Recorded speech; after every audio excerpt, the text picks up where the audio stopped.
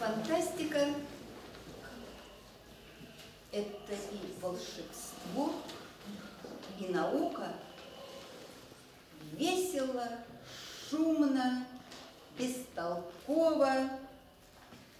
Для кого-то понедельник начинается в субботу, а для кого-то вся жизнь то ли сплошной понедельник, то ли сплошная суббота, вечный праздник, то ли вечная работа.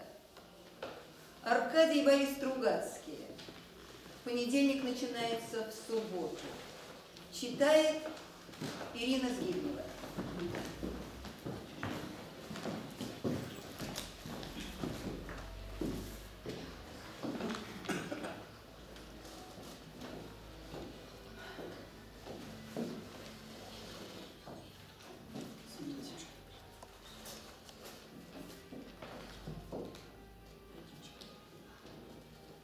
Трудовое законодательство нарушалось злостно и повсеместно.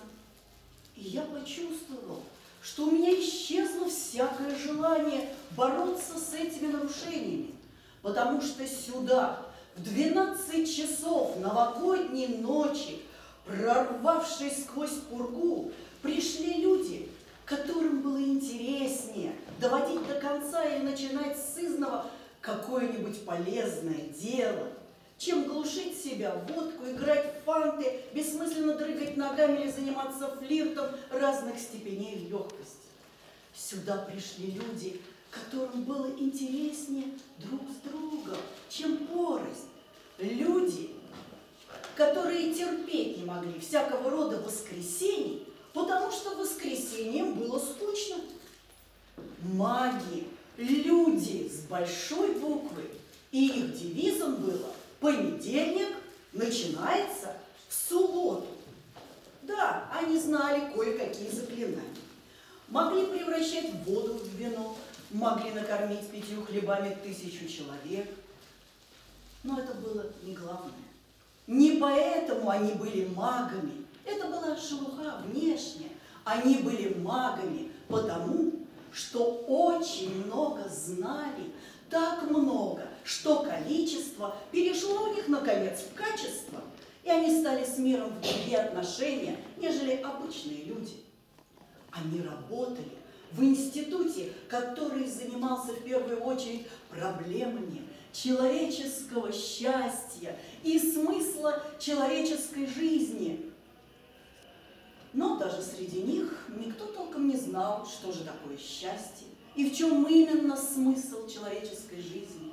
И тогда они приняли рабочую гипотезу, согласно которой счастье в непрерывном познании неизвестного и смысл жизни в том же.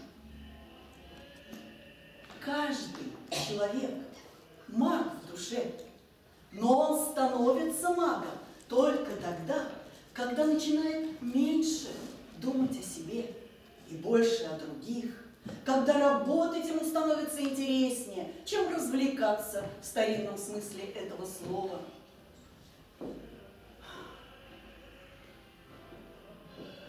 И, наверное, их рабочая гипотеза была недалека от истины, потому что точно так же, как труд превратил обезьяну в человека, так же и отсутствие труда превращает человека в обезьяну. Даже хуже, чем в обезьяну. В обычной жизни мы не всегда замечаем это. Тунеядец, лентяй, развратник, карьерист продолжают ходить на задних конечностях, разговаривают вполне членораздельно. В институте же регресс скрыть было очень трудно.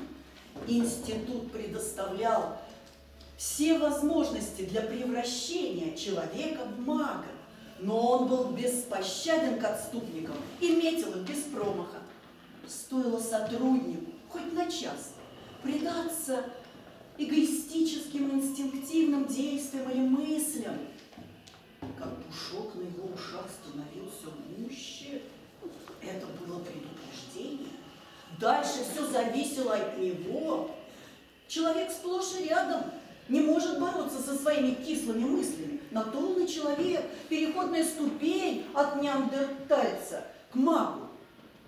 Но он может поступать вопреки этим мыслям, и тогда у него сохраняются шансы. Браво!